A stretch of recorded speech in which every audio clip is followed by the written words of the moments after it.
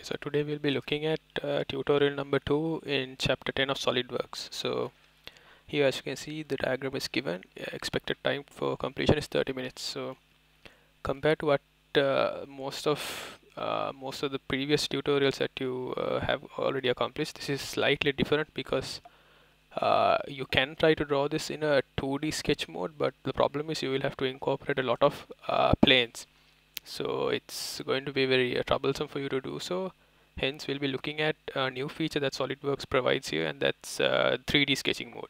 So let's get into the diagram. So here normally uh, what I mean when I say 2D sketch mode is this. So normally we have not really considered uh, this as an option but here what this says is it's uh, we're trying to sketch it in 2D or in one plane. Okay so there's another feature. If you select this icon you can see it says 3d sketch. So if we try to draw a 3d sketch we can easily get uh, this chair. So what we want to do is we want to change this to 3d sketch. And if you look at the step here so they've they've just drawn the outline of uh, half of the chair. And then they have used the uh, swept cross feature here to uh, get the circular outline. So let's uh, sketch this. So in three uh, in uh, when you go to when you go to 3d sketch mode you can see that um, every time you draw a line you will find another axis. So let's say I selected this. So now it says xy so I'll be constructing now in the xy plane. But in reality I want this to be in the z plane. I want to draw this line first since our origin is here and it's going to be in the z direction. So what you can do is you can click on the starting point and now it's uh, since this axis is in xy direction it's easier for me to draw in xy direction but the problem is we want it in the z uh, in the z direction. So you can ch change that by selecting tab. So now as you can see now we are in the yz direction. So now it's easier for me to draw in the z z axis. So you can change that again by uh, selecting tab. So now we are in the zx direction. So similarly you can uh, change. So again I'll select yz direction. And yeah I'll just draw the outline of the shape and later I can introduce the dimensions. So after I in the z direction now I have to go in the x direction. So again I'll select tab change the direction now I have the x direction. I'll draw a line here. Now I'll have to draw it in the y direction. So tab change draw a line upwards now I'll have to draw in the y uh, x direction sorry. So something like this. And again in the y direction. And now a line somewhere in between the xy direction so something like this. So as you can see at every point that we uh, finished constructing a line you'll get another axis automatically. So that's the advantage of having a 3d sketch. If you want to draw this sketch in a 2D plane, you'll have to introduce one plane for this line, one plane for this line, one plane for this, and so on. So that's going to be really time consuming. So make sure that you know how to use the 3D sketch. So after you do this here, so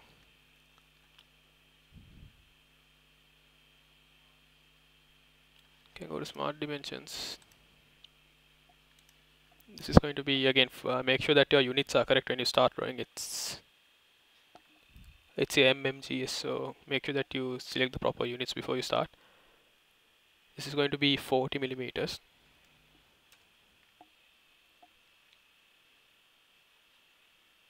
And you're going to have this as 100 millimeters. Make sure that these are all 90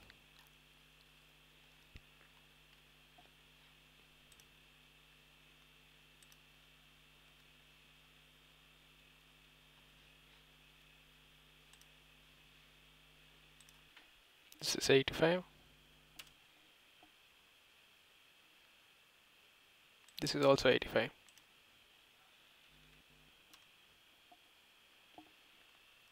This will be 60.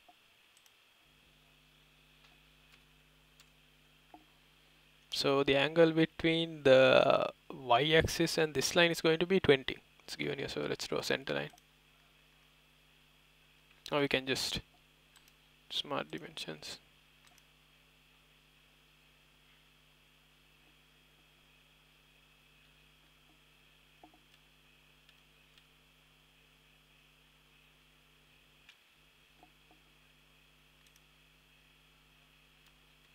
it'll be easy if you draw center line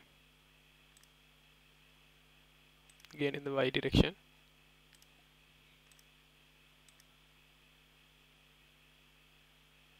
So this here will be 20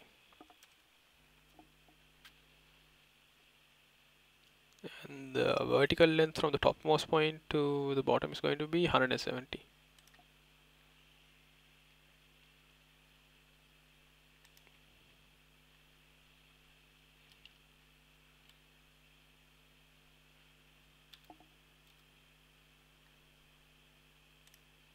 again so you can change the dimension type that you're going to enter by uh, selecting tab okay? So here initially when I selected the two points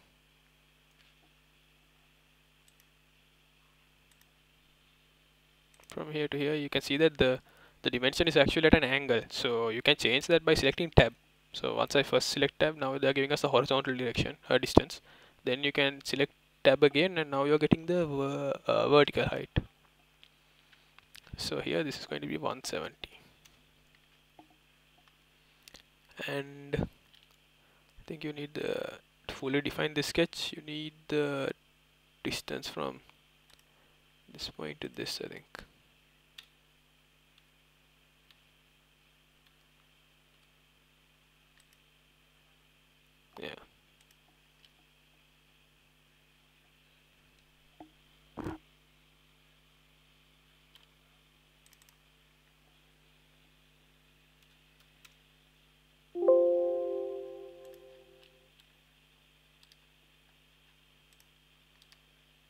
So I uh, made a small mistake here, have to delete this, rename this as 20 and now I'll have to give the dimension again.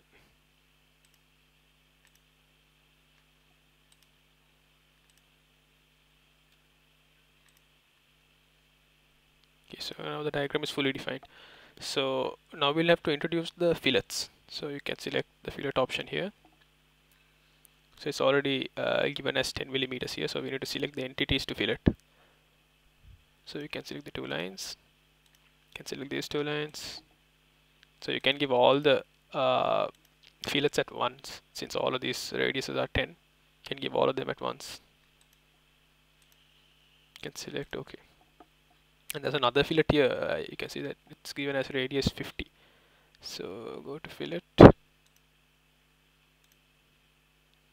it's supposed to be 50 select ok okay. So now that we have the profile or the outline of um, one side of the chair so we basically have the outline of this.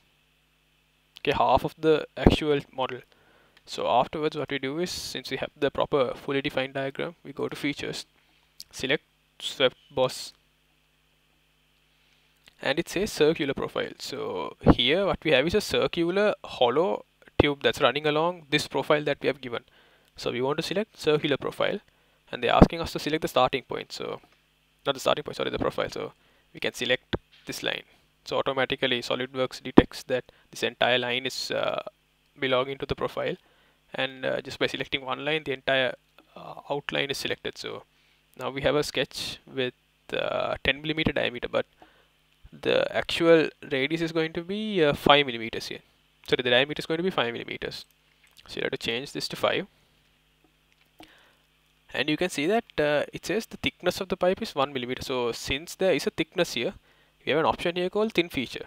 So if we were to select OK here we are going to get a full solid uh, circular shaft running through. But uh, what we need is a hollow shaft. So to get the hollow feature we have to select the thin feature here and they've already given one direction and the one millimeter so you can change the millimeter according to your requirement here.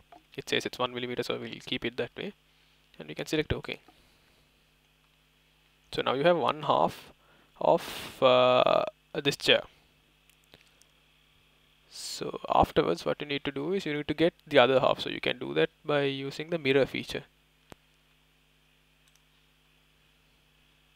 Yeah it's given a mirror feature so once you select mirror feature uh, it, it already selects the uh, SolidWorks already detects that uh, you want to mirror the uh, sweep feature here. So again if this is not selected you can always just go down here and select it. Okay. So you need the plane to mirror this about. So what we need to mirror this about is the front plane I think. Yeah front plane. So select the front plane click OK. And there you have it. So this is the full design for this is the final design of tutorial number 2 in chapter 10